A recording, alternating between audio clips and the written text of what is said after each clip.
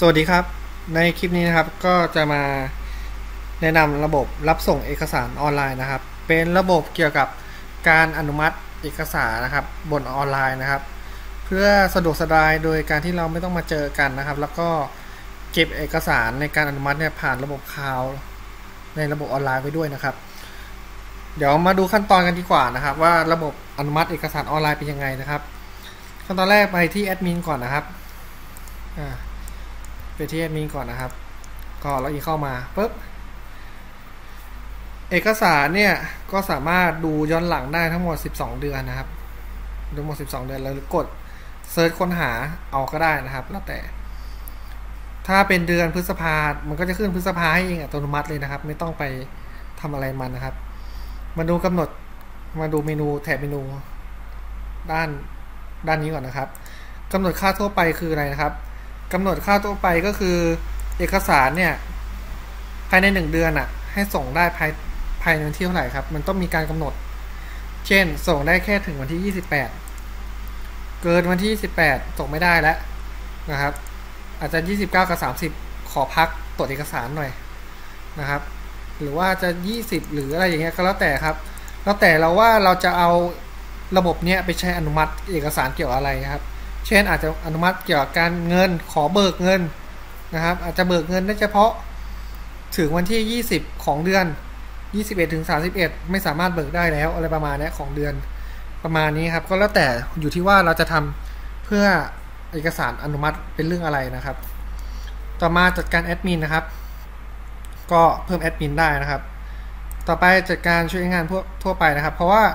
อันนี้เราเป็นแอดมินถูกไหมครับ แล้วเราก็จะสร้าง user นะครับ สร้าง user ให้คนทั่วไปใช้หรือว่าหน่วยงานอื่นๆใช้นะครับ ผมก็จะสมมุติขึ้นมานะครับ เช่นรหัสพนักงานนะครับ A 0 0 1ชื่อพนักงานชื่อนายทดสอบระบบนะครับ อ่านี่ก็เป็นชื่อผมนะครับ แล้วก็เบอร์โทรนะครับ เป็น test แล้วกันนะครับ แล้วก็ test ก็สามารถเปิดหรือปิดใช้งานได้นะครับมาครับเรียบร้อยแล้วมีเบอร์โทร ก็สามารถกด reset รหัสผ่านลบหรือแก้ไขได้นะครับนี่ครับสามารถปิดใช้งานได้เปิดใช้งานได้นะครับ ต่อมาก็เป็นรายการเอกสารนะครับ แล้วก็ค้นหา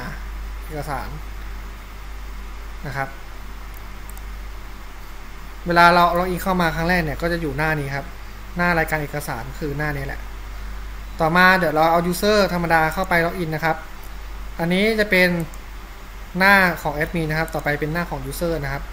หน้าของ user หน้า login จะเป็นสีขาวไอ้สีแดงนะครับ ถ้าเป็นหน้าแอดมินจะเป็นสีขาว ก็เราก็ login เข้ามาครับ user เมื่อกี้นะครับที่แอดมินสร้างให้ กดลงชื่อเข้าใช้ครับ หน้าของ user ทั่วไปนะครับ จะขึ้นมาครับอันนี้ก็เป็นหน้าเมนูรายการครับ ก็ไม่มีรายการอะไรเลยนะครับ เพราะว่าเพิ่งสร้างใหม่เมื่อกี้นะครับ ต่อมาก็กดส่งเอกสารนะครับ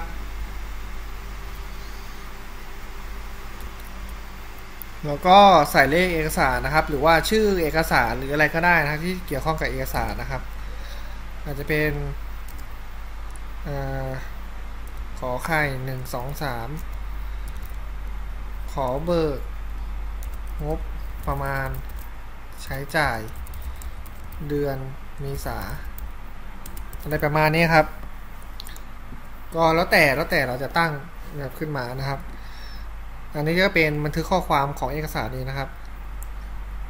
เราอาจจะเป็นเอาไว้ตรงนี้แทนก็ได้ครับแล้วกดคำว่าส่งเอกสารนะครับ เราต้องกดคำว่าส่งเอกสารก่อนนะครับ เราจะขึ้นให้อัปโหลดเอกสารนะครับปึ๊บ เห็นไหมครับ ก็สร้างเอกสารแล้วครับ โน้ตข้อความก็คือขอเบิกงบประมาณจ่ายเดือนเมษาเลขเอกสารคือเลขนี้นะครับ คนอัพก็คือคนนี้อัพตอนเวลาไหนสถานะคือสร้างใหม่นะครับคราวนี้เราก็อัปโหลดเอกสารนะครับ ให้คนอนุมัติดูนะครับ ก็เป็นไฟล์ PDF ก็ได้นะครับ เห็นไหมครับ ไฟล์ PDF Pixel นะครับ JPEG แล้วก็ .tip นะครับ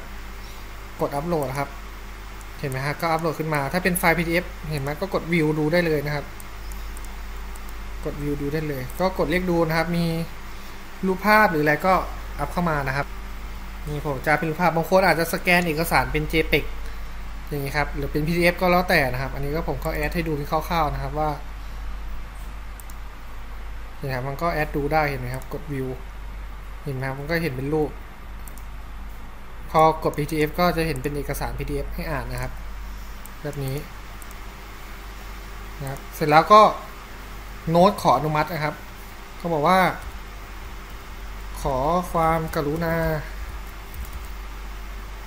อนุมัติ หน่อยครับ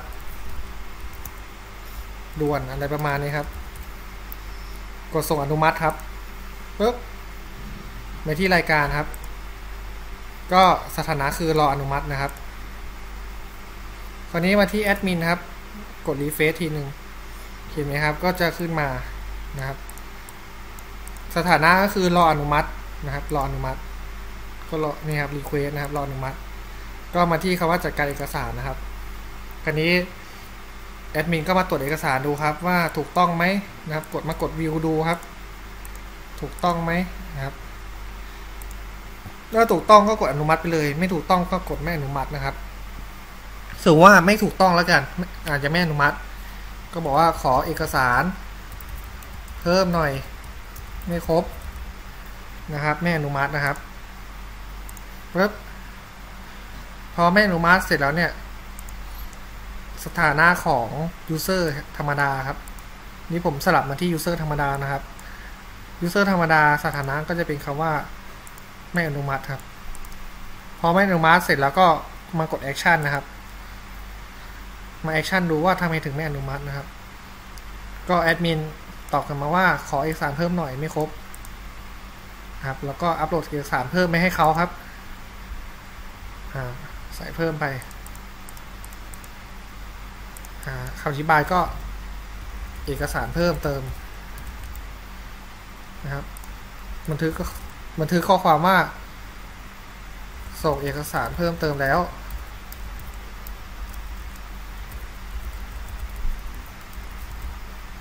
กดส่งอนุมัติครับ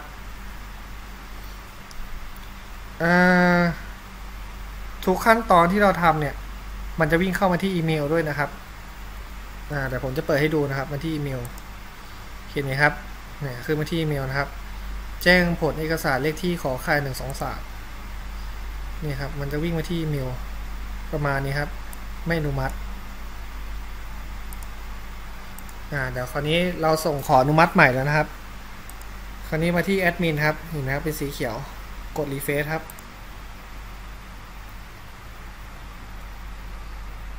นี่ครับส่งเอกสารเพิ่มเติมแล้วครับนะแต่เราลืมอัปโหลดครับ เดี๋ยวแป๊บโหลดใหม่ก่อน JPEG ครับไฟล์ JPEG เมื่อกี้ไปอัปโหลดไฟล์ PDF ครับเลยไม่ขึ้นตอนนี้สถานะมันคือรออนุมัติเห็นไหมครับ แต่เราลืมส่ง อ่าเราอาจจะตีกลับไปอีกครับว่า อ่า ไม่เจอไฟล์นะครับไม่เจอไฟล์ปุ๊บคราวนี้สถานะรออนุมัติก็จะเป็นคำว่าไม่อนุมัติครับ แล้วตีกับคำว่าไม่เจอไฟล์นะครับ แล้วก็ส่งไฟล์ไปใหม่ ระหว่างที่เราถูกส่งคำว่าไม่อนุมัติเนี่ย มันก็ส่งอีเมลมาครับว่า เห็นไหมครับ ส่งอีเมลมาว่า ไม่เจอไฟล์เห็นไหมครับ ไม่อนุมัติ ไม่เจอไฟล์คราวนี้เราก็เพิ่มไฟล์ใหม่ครับ เราเขียนว่าเอกสารเพิ่มเติม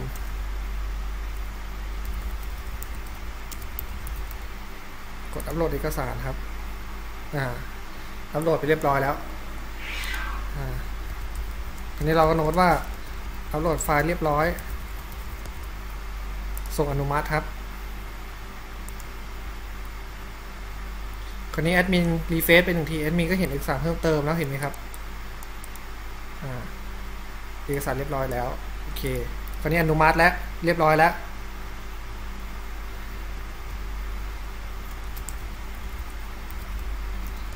อ่าแล้วเขียนว่าโอเคครับ เรียบร้อยแล้ว มารับเอกสารได้ เสร็จแล้วอะไรเงี้ยครับก็ว่ากันไปก็กดอนุมัติ ตรง user ธรรมดาสถานะตรงนี้นะครับคำว่าเราอนุมัติก็จะเป็นคำว่าอนุมัติเห็นไหมครับ อนุมัติแล้วเรียบร้อยนะครับ ไม่มีการส่งอนุมัติเรียบร้อยแล้ว เพราะว่ามันอนุมัติไปเรียบร้อยแล้วนะครับ มาที่รายการก็จะเขียนคำว่าอนุมัติขึ้นมา คราวนี้เราไปดูที่อีเมลครับ เห็นไหมครับ อีเมลก็จะขึ้นมาว่าอนุมัติแล้วนะครับ โอเคครับ อนุมัติเรียบร้อยแล้วครับ ตรงนี้คราวนี้ที่จริงแล้วมันก็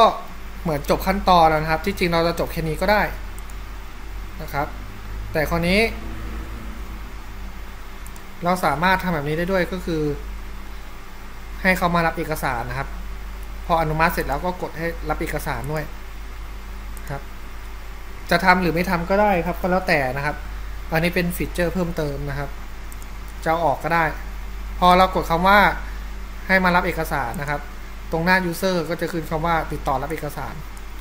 user ก็ขับรถหรือเดินไปหานะครับ แล้วแต่เราจะไปใช้งานแบบไหนนะครับขับรถไปหาหรือเดินไปหาปุ๊บไปถึงหน้าเคาน์เตอร์ หรือหน้าธุรการพัสดุ เพื่อไปรับเอกสารแล้วนะครับ ตรงหน้าแอดมินนะครับรายการเอกสาร ก็กดคำว่ารับเอกสารเรียบร้อยแล้วนะครับ ก็จะได้เป็นการยืนยันกันว่าเฮ้ยเอกสารตัวเนี้ยได้ถูกรับไปเรียบร้อยแล้วนะ เสร็จเรียบร้อยขั้นตอนแล้วนะ อะไรประมาณนี้นะครับ หน้า user ก็จะขึ้นว่ารับเอกสารเรียบร้อยแล้ว ก็จะจบการทำงานของระบบ ระบบเป็นเกี่ยวกับอนุมัติเอกสารออนไลน์ หรือว่ารับส่งเอกสารออนไลน์นะครับ